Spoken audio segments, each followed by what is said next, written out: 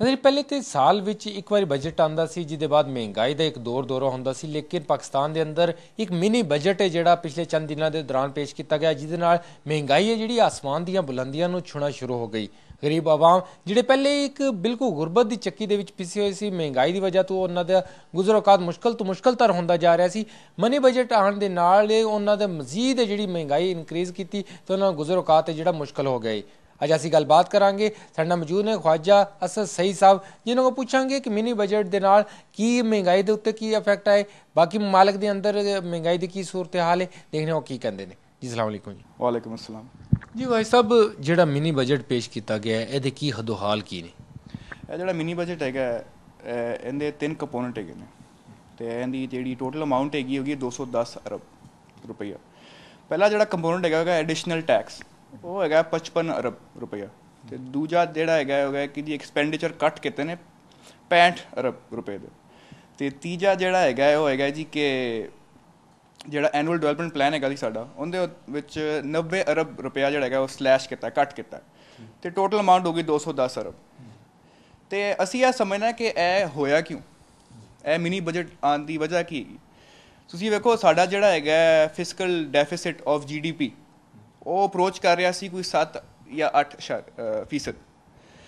ਤੇ ਚੂੰਕਿ ਇਹ ਬਹੁਤ ਜ਼ਿਆਦਾ ਉੱਤੇ ਬਾਰਡਰ ਲਾਈਨ ਤੇ ਜਾ ਰਿਹਾ ਸੀ, ਤੇ ਜਿਹੜੀ ਆਈਐਮਐਫ ਦੀ ਜਿਹੜੀ ਪਾਲਿਸੀ ਹੈਗੀ ਨੇ, ਉਹਨਾਂ ਨੇ ਇਹਨਾਂ ਨੂੰ ਫੋਰਸ ਕੀਤਾ ਹੈ ਕਿ ਤੁਸੀਂ ਜਿਹੜੇ ਟੈਕਸੇਸ਼ਨ ਹੈਗੇ ਨੇ ਉਹ ਵਧਾਓ ਜਾਂ ਐਕਸਪੈਂਡੀਚਰ ਕੱਟ ਕਰੋ ਜਾਂ ਕੋਈ ਐਸੀ ਹਰਕਤ ਕਰੋ ਜਿੰਦੀ ਵਜ੍ਹਾ ਦੇ ਨਾਲ ਤੁਸੀਂ ਤੁਹਾਡੀ ਜਿਹੜੀ ਡੈਟ ਸਰਵਿਸਿੰਗ ਹੈਗੀ ਹੈ ਉਹ ਜਿਹੜੀ ਹੈਗੀ ਉਹ ਬਰਕਰਾਰ ਰਹੇ। ਕਿਉਂਕਿ ਤੁਸੀਂ ਵੇਖੋ, ਅਸੀਂ ਉਹਨਾਂ ਦੇ ਨਾਲ ਇੱਕ ਡੀਲ ਹੈਗੀ ਸਾਡੀ। ਅਸੀਂ ਉਹ ਪਾਲਿਸੀਆਂ ਫੋਲੋ ਕਰਨੀਆਂ ਨੇ ਤੇ ਉਹ ਫੋਲੋ ਤਦੋਂ ਤੱਕ ਕਰਾਂਗੇ ਜਦੋਂ ਤੱਕ ਅਸੀਂ ਉਹਨਾਂ ਦੀ ਪੇਮੈਂਟਸ ਕਰਦੇ ਰਹੋ। ਤੇ ਇਹਦਾ ਜਿਹੜਾ ਮਹਿੰਗਾਈ ਤੇ ਜਿਹੜਾ ਅਸਰ ਹੈਗਾ ਉਹ ਇਹ ਹੈਗਾ ਕਿ ਤੁਸੀਂ ਵੇਖੋ ਅਗਰ ਤੁਸੀਂ ਪਹਿਲੀ ਜਿਹੜੇ ਕੰਪੋਨੈਂਟ ਹੈਗਾ ਐਡੀਸ਼ਨਲ ਟੈਕਸ ਅਗਰ ਤੁਸੀਂ ਟੈਕਸ ਵਧਾਓਗੇ ਤੇ ਉਹ ਆਪਣੀ ਤਰ੍ਹਾਂ ਇੱਕ ਇਨਫਲੇਸ਼ਨ ਹੈਗੀ ਹੈ ਕਿਉਂਕਿ ਤੁਹਾਡੀ ਜਿਹੜੀ ਇਨਕਮ ਹੈਗੀ ਉਹ ਕਮ ਹੋ ਜਾਂਦੀ ਹੈ। ਦੂਜਾ ਜਿਹੜਾ ਹੈਗਾ ਹੈ, ਤੁਹਾਡਾ ਏਡੀਪੀ ਦੀ ਜਿਹੜੀ ਅਮਾਉਂਟ ਘੱਟ ਕੀਤੀ ਗਈ ਹੈ 90 ਅਰਬ ਰੁਪਇਆ ਉਹਦੀ ਵਜ੍ਹਾ ਤੋਂ ਤੁਹਾਡੀ ਜਿਹੜੀ ਹੈਗੀ ਹੈ ਔਰ ਜੌਬ ਜਿਹੜੀ ਬਣੀਆਂ ਸਨ ਉਹ ਕਮ ਹੋ ਜਾਣਗੀਆਂ। ਤੇ ਆਵਾਮ ਦੀ ਜਿਹੜੀ ਇਨਕਮ ਹੈਗੀ ਹੈ ਹੋਰ ਕਮ ਹੋ ਜਾਏਗੀ। ਤੇ ਇਹ ਸਾਰੇ ਮਿਲਾ ਮਿਲੂ ਕੇ ਇਹ ਬੇਸਿਕਲੀ ਜਿਹੜੀ ਸਿਸਟਮ ਹੈਗਾ ਉਹ ਜਾ ਹੋਰ ਮਹਿੰਗਾਈ ਤੇ ਰਿਹਾ। ਤੇ ਮੈਂ ਪਹਿਲੇ ਵੀ ਕਾਫੀ ਸ਼ੋਧ ਕੀਤੇ ਨੇ ਇਹਦੇ ਉੱਤੇ ਕਿ ਸਾਡਾ ਜਿਹੜਾ ਇਹ ਸਾਲ ਹੈਗਾ ਸਿਰਫ ਪਾਕਿਸਤਾਨੀ ਪੂਰੀ ਦੁਨੀਆ ਦੇ ਵਿੱਚ ਮਹਿੰਗਾਈ ਹੋ ਰਹੀ ਹੈ। ਤੇ ਤੁਸੀਂ ਵੇਖੋ ਜਿਹੜੀ ਹਕੂਮਤਾਂ ਗਿਰ ਰਹੀਆਂ ਨੇ ਉਹਨਾਂ ਦਾ ਮੇਨ ਜਿਹੜਾ ਰੀਜ਼ਨ ਹੈਗਾ ਉਹ ਹੈਗਾ ਕਿ ਮਹਿੰਗਾਈ ਬਹੁਤ ਜ਼ਿਆਦਾ ਹੋ ਗਈ ਤੇ ਬੇਰੋਜ਼ਗਾਰੀ ਵੀ ਬੜੀ ਜ਼ਿਆਦਾ ਹੋ ਗਈ। ਤੇ ਜਦੋਂ ਤੁਹਾਡੀ ਇੱਕ ਇੱਕ ਘਰ ਹੁੰਦਾ ਉਹਦੀ ਇੱਕ ਜ਼ਰੀਆ ਮਾਸ਼ ਹੁੰਦਾ ਉਹਦੀ ਇਨਕਮ ਹੁੰਦੀ ਹੈ। ਅਗਰ ਉਹਦਾ ਫਰਜ਼ ਕਰੋ 50 ਜਾਂ 70% ਜਿਹੜੀ ਇਨਕਮ ਹੈਗੀ ਹੈ ਉਹ ਖਾਣ ਪੀਣ ਤੇ ਹੀ ਲੱਗ ਜਾਏ ਤੇ ਬਾਕੀ ਤੁਸੀਂ ਕੀ ਕਰੋਗੇ? ਤੁਸੀਂ ਗੁੱਸਾ ਕਰੋਗੇ। ਤੁਸੀਂ ਰੋਡਾਂ ਤੇ ਆਓਗੇ ਤੁਸੀਂ ਡੈਮੋਨਸਟ੍ਰੇਟ ਕਰੋਗੇ। ਤੇ ਇਹ ਇਹਦਾ ਹੈਗਾ ਕਿ ਅੱਗੇ ਨਜ਼ਰ ਆ ਰਿਹਾ ਕਿ ਇਹਦਾ ਮੇਨ ਰੀਜ਼ਨ ਹੈਗਾ ਕਿ ਇਹ ਸਾਨੂੰ ਕਾਫੀ ਜ਼ਿਆਦਾ ਮਹਿੰਗਾਈ ਦੇਵੇਗਾ। ਅੱਛਾ ਭਾਈ ਸਾਹਿਬ ਪਹਿਲੇ ਜਿਹੜੀ ਜ਼ੀਰੋ ਰੇਟਡ ਇੰਡਸਟਰੀ ਸੀ ਉਹਨੂੰ ਵੀ ਹੁਣ ਟੈਕਸ ਨੈਟ ਦੇ ਅੰਦਰ ਲਿਆਉਣ ਦੀਆਂ ਗੱਲਾਂ ਕੀਤੀਆਂ ਜਾ ਰਹੀਆਂ। ਅਗਰ ਉਹ ਜਿਹੜੀ ਟੈਕਸ ਨੈਟ ਦੇ ਅੰਦਰ ਆਂਦੀ ਹੈ ਫਿਰ ਲੋਕਾਂ ਨੂੰ ਕਿਹੜੀਆਂ ਕਿਹੜੀਆਂ ਚੀਜ਼ਾਂ ਨੇ ਜਿਹੜੀਆਂ ਮਹਿੰਗੀਆਂ ਮਿਲਣਗੀਆਂ? ਇਹਨਾਂ ਦੇ ਵਿੱਚ ਜਿਹੜੀ ਤੁਹਾਡੀ ਹੈਗੀ ਨੈਸੈਸਿਟੀਆਂ ਜਿਹੜੀਆਂ ਹੈਗੀਆਂ ਨੇ ਜਿਸ ਤੁਸੀਂ ਰੋਜ਼ ਯੂਜ਼ ਕਰਦੇ ਹੋ ਉਹ ਤੇ ਮਹਿੰਗੀ ਹੋਣਗੀਆਂ ਤੁਸੀਂ ਵੇਖ ਲਓ ਜਿਵੇਂ ਚੌਲ ਹੈਗਾ ਚੀਨੀ ਹੈਗੀ ਹੈ ਸਾਡੇ ਜਿਹੜੀ ਇੰਡਸਟਰੀ ਵਿੱਚ ਚੀਜ਼ਾਂ ਯੂਜ਼ ਹੁੰਦੀਆਂ ਨੇ ਕਾਪਰ ਉਹ ਬਹੁਤ ਜ਼ਿਆਦਾ ਮਹਿੰਗੀ ਹੋ ਗਈਆਂ ਨੇ ਤੇ ਔਰ ਹੋਰ ਜ਼ਿਆਦਾ ਮਹਿੰਗੀਆਂ ਹੋਣਗੀਆਂ। ਉਹਨਾਂ ਦੀ ਵਜੂਹਾਤ ਜਿਹੜੀ ਹੈਗੀਆਂ ਨਹੀਂ ਉਹ ਮੈਂ ਤੁਹਾਨੂੰ ਦੱਸਦਾ। ਮੇਨ ਵਜ੍ਹਾ ਹੈਗੀ ਹੈਗੀ ਕਿ ਦੁਨੀਆ ਦੇ ਵਿੱਚ ਜਿੰਨੇ ਵੀ ਸੈਂਟਰਲ ਬੈਂਕਸ ਹੈਗੇ ਨੇ ਪਾਕਿਸਤਾਨ ਦਾ ਵੀ ਮਿਲਾ ਕੇ ਇਹ ਸਾਰੇ ਹੈਗੇ ਨੇ ਇਹ ਪੈਸੇ ਛਾਪ ਰਹੇ ਨੇ। ਤੁਸੀਂ ਕੋ ਤੁਹਾਡਾ ਜਿਹੜਾ ਬਜਟ ਆਂਦਾ ਤੇ ਤੁਹਾਡਾ ਹੈਗਾ ਸ਼ਾਰਟਫਾਲ ਹੁੰਦਾ ਸਾਡਾ ਜਿਹੜਾ ਬਜਟ ਆਇਆ ਸੀ ਪ੍ਰਪੋਜ਼ ਪਿਛਲੇ ਸਾਲ ਦਾ ਉਹਦੇ ਵਿੱਚ ਐਨੂਅਲ ਡਿਵੈਲਪਮੈਂਟ ਪਲਾਨ ਨੂੰ ਮਿਲਾ ਕੇ ਸਾਡਾ ਬਜਟ ਹੈਗਾ ਸੀ ਕੋਈ 3.2 ਖਰਬ ਰੁਪਇਆ। ਤੇ ਜਿਹੜੀ ਤੁਹਾਡੀ ਫਾਈਨੈਂਸ ਜਿਸ ਤਰ੍ਹਾਂ ਕਰਦੇ ਹੋ ਤੁਸੀਂ ਟੈਕਸ ਲਾਉਂਦੇ ਹੋ ਲੋਕਾਂ ਦੇ ਡਾਇਰੈਕਟ ਤੇ ਇਨਡਾਇਰੈਕਟ ਤੇ ਉਹ ਹੋਗਾ ਸੀ ਕੋਈ 1.9 ਖਰਬ। ਤੇ ਤੁਹਾਡੀ ਜਿਹੜੀ ਸ਼ਾਰਟਫਾਲ ਹੈਗੀ ਹੈ ਉਹ ਤੁਸੀਂ ਕਿਸ ਤਰ੍ਹਾਂ ਪੂਰੀ ਕਰੋਗੇ? ਤੁਸੀਂ ਹੋਰ ਕਰਜ਼ੇ ਲਵੋਗੇ ਜਿੰਦੇ ਵਜ੍ਹਾ ਨਾਲ ਹੋਰ ਮਹਿੰਗਾਈ ਹੋਏਗੀ। ਤੇ ਇਹ ਐਗਜ਼ੈਕਟਲੀ ਇਹੀ ਚੀਜ਼ ਜਿਹੜੀ ਹੈ ਅਮਰੀਕਾ ਦੇ ਵਿੱਚ ਹੋ ਰਹੀ ਹੈ ਤੇ ਪੂਰੇ ਯੂਰਪ ਦੇ ਵਿੱਚ ਹੋ ਰਹੀ ਹੈ। ਲੋਕੀ ਸਮਝਦੇ ਨੇ ਕਿ ਜੀ ਪਤਾ ਨਹੀਂ ਕਿਉਂ ਉਹਦੇ ਕੋਈ ਤਰੱਕੀ ਸ਼ਰਕੀ ਹੋ ਰਹੀ ਹੈ ਉੱਥੇ ਬਹੁਤ ਬੜਾ ਮਸਲਾ ਪਿਆ ਹੈ। ਤੁਸੀਂ ਵੇਖੋ ਥੋੜੇ ਦਿਨ ਪਹਿਲੇ ਪੁਰਤਗਾਲ ਹੈਗਾ ਉਹਨਾਂ ਦਾ ਜਿਹੜਾ ਪ੍ਰਾਈਮ ਮਿਨਿਸਟਰ ਹੈਗਾ ਉਹਨਾਂ ਨੇ ਰਿਜ਼ਾਈਨ ਕਰ ਦਿੱਤਾ ਕਿਉਂਕਿ ਉੱਥੇ ਮਹਿੰਗਾਈ ਬੜੀ ਹੋ ਗਈ ਉਹਨਾਂ ਦੇ ਕੋਲ ਡੈਟ ਇੰਨਾ ਜ਼ਿਆਦਾ ਹੋ ਗਿਆ ਕਿ ਉਹਨਾਂ ਕੋਲ ਉਹ ਬੌਂਡ ਪੇਮੈਂਟ ਨਹੀਂ ਹੋ ਰਹੀ। ਆਇਰਲੈਂਡ ਨੂੰ ਵੇਖੋ ਉਹ ਉਹਨਾਂ ਨੇ ਬੇਲ ਆਊਟ ਪੈਕੇਜ ਲੈ ਲਿੱਤਾ ਯਾਨੀ ਕਿ ਉਹ ਉਹਨਾਂ ਨੇ ਵੀ ਆਈਐਮਐਫ ਕੋਲੋਂ ਲੈ ਲਿੱਤੇ ਪੈਸੇ। ਗ੍ਰੀਸ ਜਿਹੜਾ ਹੈਗਾ ਉਹਨੇ ਵੀ ਲੈ ਲਿੱਤੇ।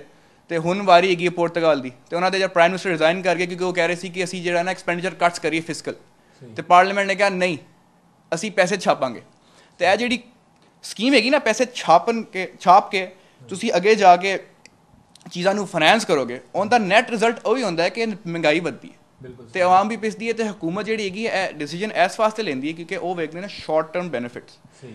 ਯਾਨੀ ਕਿ ਉਹ ਵੇਖਦੇ ਨੇ ਕਿ ਅਗਲਾ ਇਲੈਕਸ਼ਨ ਕਦੋਂ ਆ ਰਿਹਾ ਹੈ। ਉਹ ਇਹ ਨਹੀਂ ਵੇਖਦੇ ਕਿ ਅਗਲੇ 10 ਸਾਲ 'ਚ ਕੀ ਹੋਏਗਾ। ਤੇ ਤੁਸੀਂ ਵੇਖੋਗੇ ਕਿ ਇਸ ਸਾਲ ਮਹਿੰਗਾਈ ਜਿਹੜੀ ਹੈਗੀ ਉਹ ਹੋਰ ਹੋਏਗੀ। ਅੱਛਾ ਹੋਏ ਸਾਹਿਬ ਜਿਹੜਾ ਮਿਨੀ ਬਜਟ ਪਹਿਲੇ ਬਜਟ ਪੇਸ਼ ਕੀਤਾ ਗਿਆ ਮਤਲਬ ਕਿ ਜੂਨ ਵਿੱਚ ਪੇਸ਼ ਕੀਤਾ ਜਾਂਦਾ। ਹੁਣ ਉਸ ਬਜਟ ਨੂੰ ਇਹ ਕੁਝ ਅਰਸੇ ਗੁਜ਼ਰ ਮਤਲਬ 9 ਮਹੀਨੇ ਗੁਜ਼ਰ 9 ਮਹੀਨੇ ਬਾਅਦ ਮਿਨੀ ਬਜਟ ਲਿਆਉਣ ਦੀ ਕੀ ਵਜ੍ਹਾ ਕਿਆ ਇਹਨਾਂ ਕੋਈ ਪਾਲਿਸੀਆਂ ਨਹੀਂ ਸੀ ਜਾਂ ਉਸ ਵਕਤ ਸੋਚ ਨਹੀਂ ਸੀ ਹਾਂਜੀ ਇਹਦੀ ਮੇਨ ਵਜ੍ਹਾ ਮੈਂ ਤੁਹਾਨੂੰ ਦੱਸੀ ਪਹਿਲੇ ਵੀ ਕਿ ਜਿਹੜਾ ਸਾਡਾ ਫਿਸਕਲ ਡੈਫਿਸਿਟ ਆਫ ਜੀਡੀਪੀ ਜੀ। ਉਹਦੀ ਪਰਸੈਂਟੇਜ ਜਿਹੜੀ ਹੈਗੀ ਉਹ 8% ਹੋ ਗਈ ਹੈ। ਉਹਦਾ ਮਤਲਬ ਇਹ ਹੈਗਾ ਕਿ ਤੁਹਾਡਾ ਜਿਹੜਾ ਡੈਫਿਸਿਟ ਹੈਗਾ ਤੁਸੀਂ ਵੇਖੋ ਜੀਡੀਪੀ ਜਿਹੜੀ ਉਹਦੀ ਤੁਹਾਡੀ ਆਮਦਨੀ ਹੁੰਦੀ ਹੈ। ਤੇ ਤੁਹਾਡਾ ਜਦੋਂ ਡੈਫਿਸਿਟ ਉਹਨੂੰ ਅਪਰੋਚ ਕਰਨਾ ਚੱਲ- ਜਾਏ ਤੇਜ਼ੀ ਨਾਲ ਤੇ ਤੁਸੀਂ ਉਹ ਪੇਮੈਂਟ ਨਹੀਂ ਕਰ ਸਕਦੇ। ਇਸ ਵਾਸਤੇ ਤੁਸੀਂ ਉਹ ਪੇਮੈਂਟਸ ਕਰਨ ਤੁਸੀਂ ਟੈਕਸ ਹੋਰ ਵਧਾਉਂਦੇ ਹੋ ਤਾਂ ਕਿ ਤੁਹਾਡੇ ਕੋਲ ਉਹ ਪੈਸੇ ਆਏ ਸ਼ਾਰਟਫਾਲ ਮਿਲਾਉਂਦੇ ਤੇ ਉਹਦਾ ਹੁੰਦਾ ਕੀ ਹੈ ਕਿ ਤੁਹਾਨੂੰ ਦੱਸਿਆ ਕਿ ਜਦੋਂ ਉਹ ਚੀਜ਼ਾਂ ਤੁਸੀਂ ਕੱਟਦੇ ਹੋ ਤੇ ਤੁਸੀਂ ਕਿੱਥੋਂ ਲਾਉਂਦੇ ਹੋ? ਤੁਸੀਂ ਲੋਕਾਂ ਕੋਲ ਲੈਂਦੇ ਹੋ ਉਹਨਾਂ ਦੀ ਜੇਬਾਂ ਕੋਲੋਂ। ਤੇ ਉਹਦੇ ਦੋ ਤਿੰਨ ਤਰੀਕੇ ਨੇ ਜਾਂ ਤਾਂ ਤੁਸੀਂ ਕਹਿੰਦੇ ਤੁਸੀਂ ਉਹਨਾਂ ਤੋਂ ਜਾ ਕੇ ਲੈ ਲਓ ਕਿ ਟੈਕਸ ਵਿੱਚ ਪੈਸੇ ਦਿਓ। ਦੂਜਾ ਹੈਗਾ ਕਿ ਤੁਸੀਂ ਮਹਿੰਗਾਈ ਵਧਾਉਂਦੇ ਹੋ ਤੇ ਉਹ ਇੱਕ ਹੋਰ ਟੈਕਸ ਹੁੰਦਾ। ਹੈ ਸਹੀ। ਸੇਲਸ ਟੈਕਸ ਵਧਾ ਦਿਓ। ਤੁਸੀਂ ਵੇਖੋ ਅਸੀਂ ਹੁਣ ਵਧਾ ਦਿੱਤਾ ਹੈ ਫਲੱਡ ਸਰਚਾਰਜ ਲਾਇਆ ਤੇ ਉਹ ਜਿਹੜਾ ਆਲਰੇਡੀ ਟੈਕਸ ਨੈਟ ਹੈਗਾ ਸੀ ਉਹਦੇ ਉੱਤੇ ਜਿਹੜਾ ਟੈਕਸ ਲੱਗਦਾ ਸੀ ਉਹਦਾ 15% ਜਿਹੜਾ ਹੈਗਾ ਫਲੱਡ ਸਰਚਾਰਜ ਲਗਾਇਆ ਜੂਨ ਤੱਕ। ਉਹ ਸਿਰਫ ਇਸ ਵਾਸਤੇ ਲਾਇਆ ਤਾਂ ਕਿ ਇਹ ਪੇਮੈਂਟ ਜਿਹੜੀ ਹੈਗੀਆਂ ਨੇ ਉਹ ਪੂਰੀ ਹੋ ਜਾਣ। ਬਿਲਕੁਲ ਅੱਛਾ ਆਮ ਸਾਡੇ ਨਾਜ਼ਰੀਨ ਨੂੰ ਦੱਸੋ ਕਿ ਜਿਸ ਵਕਤ ਇਹ ਮਿਨੀ ਬਜਟ ਆਇਆ ਇਹਦੇ ਨਾਲ ਕਿਹੜੀਆਂ ਕਿਹੜੀਆਂ ਚੀਜ਼ਾਂ ਨੇ ਜਿਹੜੀ ਉਹਦੀ ਕੀਮਤਾਂ ਦੇ ਵਿੱਚ ਇਨਕਰੀਜ਼ ਆਏ ਉਹੀ ਜਿਹੜੀ ਤੁਹਾਡੀ ਨੈਸੈਸਿਟੀ ਹੈਗੇ ਨੇ। ਤੁਸੀਂ ਜਿਹੜੀ ਰੋਜ਼ ਇਸਤੇਮਾਲ ਕਰਦੇ ਹੋ ਤੁਹਾਡੀ ਜਿਹੜੀ ਚੀਨੀ ਹੈਗੀ ਹੈ ਤੁਹਾਡਾ ਇੰਡਸਟਰੀ ਦੇ ਵਿੱਚ ਤੁਸੀਂ ਕੋਈ ਤੁਸੀਂ ਇੰਡਸਟਰੀ ਦੀ ਗੱਲ ਕੀਤੀ 0% ਤੁਸੀਂ ਕਹਿ ਰਹੇ ਸੀ। ਉਹਦੇ ਵਿੱਚ ਕਾਪਰ ਹੈਗਾ ਤੇ ਉਹਦੇ ਵਿੱਚ ਡਿਫਰੈਂਟ ਚੀਜ਼ਾਂ ਹੈਗੀਆਂ ਨੇ ਯਾਨੀ ਕਿ ਮੈਟਲਸ ਲੈ ਲਵੋ। ਤੁਸੀਂ ਚਾਵਲ ਲੈ ਲਵੋ। ਤੁਹਾਡੀ ਜਿਹੜੀ ਨੈਸੈਸਿਟੀ ਦੁੱਧ ਲੈ ਲਵੋ। ਇਹ ਸਾਰੀ ਚੀਜ਼ਾਂ ਜਿਹੜੀਆਂ ਹੈਗੀਆਂ ਨੇ ਸਾਰੀ ਮਹਿੰਗੀਆਂ ਹੋਣਗੀਆਂ। ਅੱਛਾ ਗਰੀਬ ਬੰਦਾ ਕਿੱਥੇ ਖੜਾ ਹੈ ਇਸ ਵਕਤ? ਆਵਾਮ ਕਿੱਥੇ ਖੜੀ ਹੈ? ਗਰੀਬ ਬੰਦਾ ਜਿਹੜਾ ਹੈਗਾ ਤੁਸੀਂ ਵੇਖੋ ਲੋਕੀ ਕਹਿੰਦੇ ਨੇ ਕਿ ਮੈਂ ਕਹਿ ਰਿਹਾ ਕਿ ਦੁਨੀਆ ਦੇ ਵਿੱਚ ਪੈਸੇ ਛਪ ਰਹੇ ਨੇ। ਤੇ ਪੈਸੇ ਤਾਂ ਬਹੁਤ ਜ਼ਿਆਦਾ ਹੈਗੇ ਨੇ ਦੁਨੀਆ ਦੇ ਵਿੱਚ।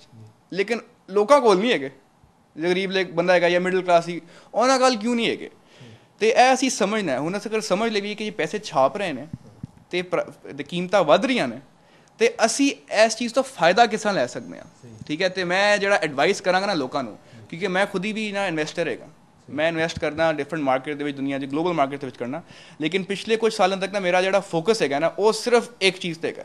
ਉਹ ਇੱਕ- ਉਹਨਾਂ ਨੂੰ ਕਹਿੰਦੇ ਨੇ ਪ੍ਰੈਸ਼ੀਅਸ ਮੈਟਲਸ ਤੁਹਾਡੇ ਜਿਹੜੇ ਮੋਤੀ ਲੈ ਲਓ ਚਾਂਦੀ ਲੈ ਲਓ ਸੋਨਾ ਲੈ ਲਓ ਤੇ ਮੈਂ ਤੁਹਾਨੂੰ ਐਗਜ਼ਾਮਪਲ ਦੇਣਾ ਕਿ ਲੋਕੀ ਕਹਿੰਦੇ ਨੇ ਮਹਿੰਗਾਈ ਹੋ ਰਹੀ ਹੈ।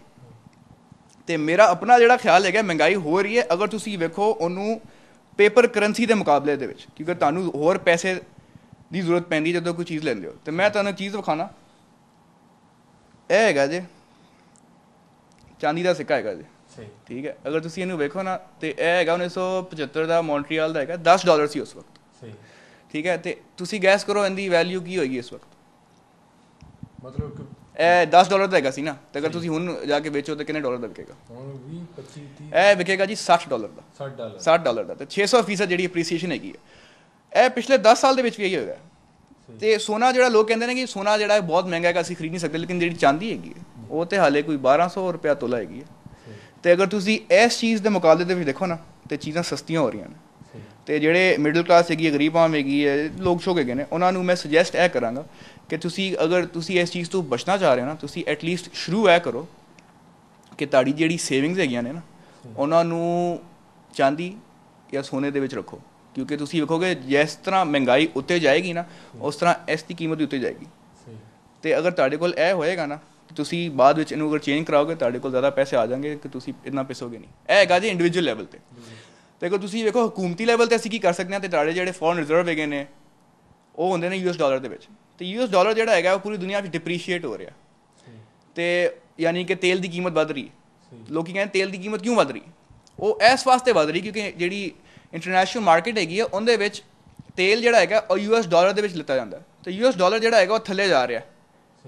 ਤੇ ਜਿਹੜਾ ਸਪਲਾਇਰ ਹੁੰਦਾ ਉਹ ਕਹਿੰਦਾ ਕਿ ਜੀ ਮੈਨੂੰ ਹੋਰ ਪੈਸੇ ਦਿਵੋ, ਕਿਉਂਕਿ ਤੁਸੀਂ ਜਿਹਨੂੰ ਮੈਨੂੰ ਜੋ ਡਾਲਰ ਦੇ ਰਹੇ ਹੋ, ਉਹਦੀ ਪਰਚੇਸਿੰਗ ਪਾਵਰ ਹੀ ਕਮ ਹੋ ਰਹੀ ਹੈ। ਸਹੀ ਤੇ ਅਸੀਂ ਫਿਊਚਰ ਦੇ ਵਿੱਚ ਕਰਨਾ ਹੈਗਾ ਕਿ ਸਾਡੇ ਜਿਹੜੇ ਫੋਰਨ ਰਿਜ਼ਰਵਸ ਹੈਗੇ ਨੇ, ਉਹ ਅਸੀਂ ਕੰਪਲੀਟਲੀ ਡਾਲਰ ਤੋਂ ਹਿਲਾ ਸਾਈਡ ਤੇ ਕਰਨੇ ਨੇ। ਯਾਨੀ ਕਿ ਅਸੀਂ ਬਾਸਕਟ ਆਫ ਕਰੰਸੀ ਲੈਣੀ ਹੈ, ਅਸੀਂ ਉਹਦੇ ਵਿੱਚ ਚਾਂਦੀ ਪਾਣਾ ਅਸੀਂ ਉਹ ਸੋਨਾ ਪਾਣਾ ਉਹਦੇ ਨਾਲ ਹੁੰਦਾ ਹੈਗਾ, ਤੁਸੀਂ ਗੱਲ ਕਰੇ ਮਹਿੰਗਾ, ਮਹਿੰਗਾਈ ਬੜੀ ਹੋ ਰਹੀ ਹੈ। ਅਸੀਂ ਮਹਿੰਗਾਈ ਨੂੰ ਕਮ ਕਿਸ ਤਰ੍ਹਾਂ ਕਰਨਾ ਇਹ ਅਸਲ ਗੱਲ ਹੈਗੀ ਹੈ। ਤੇ ਉਹ ਅਸੀਂ ਇਸ ਤਰ੍ਹਾਂ ਕਰ ਸਕਦੇ ਹਾਂ ਕਿ ਅਸੀਂ ਅਗਰ ਸਾਡੀ ਕਰੰਸੀ ਜਿਹੜੀ ਹੈਗੀ ਹੈ, ਉਹਨੂੰ ਅਸੀਂ ਆਇਸਤਾ ਆਹਿਸਤਾ ਜਿਹੜਾ ਹੈਗਾ, ਇਹਦੇ ਨਾਲ ਟਾਈ ਕਰੀਏ। ਸਹੀ ਸੋਨੇ ਜਾਂ ਚਾਂਦੀ? ਸੋਨੇ ਜਾਂ ਚਾਂਦੀ ਨਾਲ। ਅੱਛਾ ਤੁਸੀਂ ਅ, ਇੱਕ ਮਾਸ਼ੀ ਤਜਜ਼ੀਆਕਾਰ ਹੋ ਤੁਸੀਂ ਮਾਇਸ਼ਤ ਪੜਾਉਂਦੇ ਹੋ। ਤੁਸੀਂ ਕੀ ਸਮਝਦੇ ਹੋ 7000 ਰੁਪਇਆ ਇੱਕ ਹਕੂਮਤ ਨੇ ਤਨਖਾਹ ਮੁਕਰਰ ਕੀਤੀ। 7000 ਰੁਪਏ ਵਿੱਚ ਕੀ ਪੰਜ ਅਫਰਾਦ ਤੇ ਮੁਸ਼ਤਮਿਲ ਫੈਮਿਲੀ ਦਾ ਬਜਟ ਬਣਾਇਆ ਜਾ ਸਕਦਾ ਹੈ? ਨਹੀਂ ਨਹੀਂ ਬਿਲਕੁਲ ਨਹੀਂ ਬਣਾਇਆ ਜਾ ਸਕਦਾ। ਇਹ ਮੇਰਾ ਤਾਂ ਖਿਆਲ ਹੈਗਾ ਜਿਹੜਾ 7000 ਕੀਤੀ ਨਾ ਕੀਮਤ ਇਹ 7000 ਤੁਹਾਨੂੰ ਮਿਲ ਜਾਏਗਾ। ਲੇਕਿਨ ਜੂਨ ਦੇ ਬਾਅਦ ਜਦੋਂ ਅਗਲਾ ਬਜਟ ਆਏਗਾ ਮੇਰਾ ਖਿਆਲ ਹੈ 7000 ਜਿਹੜਾ ਹੈਗਾ ਇਹਦੀ ਅਸਲ ਵੈਲਿਊ ਯਾਨੀ ਕਿ ਤੁਸੀਂ ਕਿੰਨੀ ਚੀਜ਼ਾਂ ਖਰੀਦ ਸਕਦੇ ਹੋ ਉਹਦੇ ਨਾਲ। ਉਹ 7000 ਤੋਂ 5000 ਵੀ ਹੋ ਸਕਦੀਆਂ 3000 ਵੀ ਹੋ ਸਕਦੀਆਂ। ਸਹੀ। ਤੇ ਕੋਈ ਮੈਂ ਕੋਈ ਮਤਲਬ ਇਹ ਨਹੀਂ ਕਹਿ ਰਿਹਾ ਕਿ ਕਿਆਮਤ ਆਉਣ ਵਾਲੀ ਲੇਕਿਨ ਹਾਲਾਤ ਇਸ ਤਰ੍ਹਾਂ ਦੇ ਬਣਨਗੇ ਕਿ ਕਾਫੀ ਲੋਕ ਪਿਸਣਗੇ ਅੱਗੇ ਜਾ ਕੇ। ਮਤਲਬ 7000 ਦੇ ਵਿੱਚ ਬਜਟ ਨਹੀਂ ਬਣਾਇਆ ਜਾ ਸਕਦਾ? ਸਾ ਇਹ- ਬੇਸਿਕਲੀ ਦੇਖੋ ਬਜਟ ਤੁਸੀਂ ਤਦੋਂ ਬਣਾਉਂਦੇ ਜਦ ਤੁਹਾਡੇ ਕੋਲ ਕੋਈ ਨਾ ਫਾਈਨੈਂਸ ਕਰਨ ਦੀ ਤਾਕਤ ਹੋਵੇ। ਸਹੀ। ਤੇ ਤੁਹਾਡੇ ਜਿਹੜੇ ਫੋਰਨ ਰਿਜ਼ਰਵ ਹੈਗੇ ਨੇ ਕਿੰਨੇ ਹੈਗੇ ਨੇ? 17 ਬਿਲੀਅਨ ਕਹਿੰਦੇ ਕਰੀ 16 ਬਿਲੀਅਨ ਕਹਿ ਦਿੰਦੇ ਨੇ ਡਾਲਰ ਤੇ ਉਹਦੇ ਵਿੱਚ ਸਾ- 11.5 ਅਰਬ ਜਿਹੜਾ ਡਾਲਰ ਹੈਗਾ ਉਹ ਤਾਂ ਆਈਐਮਐਫ ਦਾ ਲੋਨ ਹੈਗਾ। ਉਹ ਤੁਹਾਡੇ ਕੋਲ ਨਹੀਂ ਹੈਗਾ। ਉਹਨਾਂ ਦੇ ਕੋਲ ਹੈਗਾ। ਸਹੀ। ਤੇ ਬਾਕੀ ਜਿਹੜਾ ਹੈਗਾ ਉਹਨਾਂ ਕਹਿੰਦੇ ਰੈਮਿਟੈਂਸਸ ਕੇ ਪਾਕਿਸਤਾਨੀ ਜਿਹੜੇ ਬਾਹਰ ਰਹਿ ਰਹੇ ਨੇ ਮੁਹੱਬੇ ਵਤਨ ਉਹ ਸਾਨੂੰ ਪੈਸੇ ਭੇਜਦੇ ਨੇ ਆਪਣੇ ਲੋਕਾਂ ਨੂੰ। ਤੇ ਉਹ ਵੀ ਹਕੂਮਤ ਦਾ ਨਹੀਂ ਹੈਗਾ ਉਹ ਲੋਕਾਂ ਦਾ ਹੈਗਾ। ਤੇ ਇਹ ਜਿਸ ਤਰ੍ਹਾਂ ਬੈਂਕਿੰਗ ਸਿਸਟਮ ਵਰਕ ਕਰਦਾ ਹੈ ਉਹਨਾਂ ਦੇ ਪੈਸੇ ਲੈ ਕੇ ਯੂਜ਼ ਕਰ ਲੈਂਦੇ ਨੇ ਫਿਰ ਉਹਨੂੰ ਛਾਪ ਕੇ ਦੇ ਦਿੰਦੇ ਨੇ। ਦੂਜੀ ਜਿਹੜੀ ਗੱਲ ਹੈਗੀ ਤੁਸੀਂ ਅਗਰ ਆਪਣਾ ਜ਼ੀਰਾ ਮਾਸ਼ ਬਣਾਉਣਾ ਹੈ ਹਕੂਮਤ ਦਾ ਤੇ ਉਹ ਆਪਣੀ ਐਕਸਪੋਰਟ ਬੁਲਾਵਣ। ਸਹੀ। ਤੇ ਫਿਰ ਤੁਸੀਂ ਬਜਟ ਵੱਡਾ ਕਰ ਸਕਦੇ ਹੋ। ਇਸ ਵਕਤ ਕੋਈ ਕਪੈਸਿਟੀ ਨਹੀਂ ਹੈਗੀ। ਰੀਅਲ ਟਰਮਸ ਵਿੱਚ ਅਗਰ ਤੁਸੀਂ ਵੇਖੋ ਕਿ ਬਜਟ ਜਿਹੜਾ ਹੈਗਾ ਉਹ ਸਪੋਰਟ ਕਰ ਸਕਦਾ ਹੈ ਕਿਸੇ ਵੀ ਗਰੀਬ ਤਬਕੇ ਨੂੰ। ਅੱਛਾ, ਆਪਣੇ ਆਪ ਨੂੰ ਨਹੀਂ ਕਰ ਸਕਦਾ। ਅੱਛਾ। ਹੋਏ ਸਾਹਿਬ ਤੁਸੀਂ ਇਹ ਦੱਸੋ ਕਿ ਅਗਰ ਤੁਹਾਡੀ 7000 ਰੁਪਏ ਤਨਖਾਹ ਹੋਏ ਤੁਹਾਡੇ 3-4 ਬੱਚੇ ਹੋਣ ਤੇ ਤੁਸੀਂ ਕਿਸ ਤਰ੍ਹਾਂ ਸਰਵਾਈਵ ਕਰੋਗੇ? ਉਸ ਵਕਤ ਤੁਹਾਡੇ ਮੌਜੂਦਾ ਮਹਿੰਗਾਈ ਦੇ ਅੰਦਰ ਤੁਹਾਡੇ ਕੀ ਤਾਸਰਾਤ ਹੋਣਗੇ? ਦੇਖੋ ਜੀ ਜਦੋਂ ਵੀ ਮੁਸੀਬਤ ਆਉਂਦੀ ਹੈ ਤੇ ਅਸੀਂ ਅੱਲਾ ਨੂੰ ਯਾਦ ਕਰਦੇ ਹਾਂ। ਤੇ ਮੇਰਾ ਖਿਆਲ ਹੈ ਕਿ ਅੱਲਾ ਨੂੰ ਯਾਦ ਕਰਾਂਗੇ। ਕੋਈ ਇਹਦਾ ਇਹ 7000 ਦੇ ਵਿੱਚ ਕੀ ਕਰਨਗੇ ਜ਼ਿਆਦਾ ਤਾਂ ਮਤਲਬ ਮੈਂ ਕੋਈ ਮਾਯੂਸੀ ਨਹੀਂ ਫੈਲਾ ਰਿਹਾ, ਲੇਕਿਨ ਮੈਂ ਤੁਹਾਨੂੰ ਦੱਸ ਰਿਹਾ ਕਿ ਉਹ ਵਿਚਾਰੇ ਪਿਸਣਗੇ ਹੋਰ। ਲੇਕਿਨ ਮੈਂ ਤੁਹਾਨੂੰ ਇਹ ਵੀ ਕਹਿ ਦਵਾਂ ਕਿ ਮੇਰਾ ਆਪਣਾ ਜਿਹੜਾ ਐਸਟੀਮੇਟ ਹੈਗਾ, ਮੈਂ ਇਸ ਤੇ ਕੰਮ ਵੀ ਕਰ ਰਿਹਾ।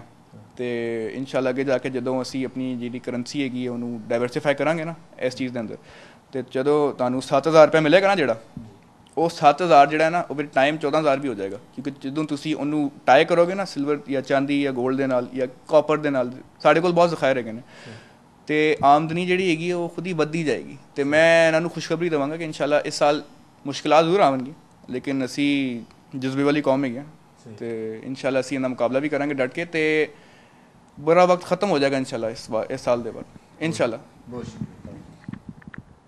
ਨਜ਼ਰੀਨ ਖਵਾਜ ਸਾਹਿਬ ਨਾਲ ਸਾਡੀ ਗੱਲਬਾਤ ਹੋਈ। ਖਵਾਜ ਸਾਹਿਬ ਦਾ ਕਹਿਣਾ ਹੈ ਸੀ ਕਿ ਜਿਹੜਾ ਮਿਨੀ ਬਜਟ ਪੇਸ਼ ਕੀਤਾ ਗਿਆ, ਇਹਦੇ ਨਾਲ ਮਹਿੰਗਾਈ ਹੈ ਜਿਹੜੀ, ਉਹਦੀ ਬੇਤਹਾਸ਼ਾ ਇਜ਼ਾਫਾ ਹੋਏਗਾ, ਲੇਕਿਨ ਕੌਮ ਨੂੰ ਮਾਯੂਸ ਨਹੀਂ ਹੋਣਾ ਚਾਹੀਦਾ। ਜਲਦ ਇਹਨਾਂ ਦੇ ਦਿਨ ਨੇ ਜਿਹੜੇ ਉਹ ਫਿਰਨਗੇ। ਹੁਣ ਦੇਖਣਾ ਹੈ ਕਿ ਉਹ ਵੇਲਾ ਕਦੋਂ ਆਏਗਾ, ਜਦੋਂ ਆਵਾਮ ਹੈ ਜਿਹੜੀ, ਉਹ ਵੀ ਖੁਸ਼ਹਾਲੀ ਵੱਲ ਜਾਏਗੀ।